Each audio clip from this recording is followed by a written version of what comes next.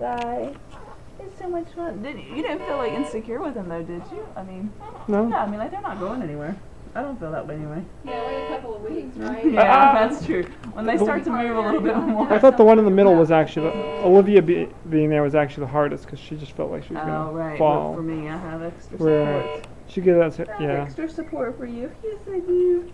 Yes, I do. Oh, you have to get a little snuggly. Emma, the middle one in the Can you say snuggly. hello? Olivia, and Savannah, Yeah.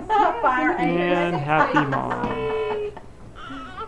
Okay, let's Do let they make a three eat. pouch snuggly? Olivia, you have to wake up and eat should. some